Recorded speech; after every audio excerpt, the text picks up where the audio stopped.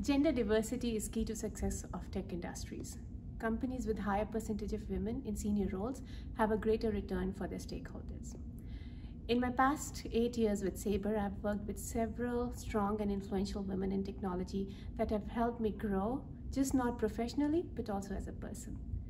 At Sabre, I feel part of a workplace that acknowledges women as leaders and provides an inclusive, healthy environment for them to grow.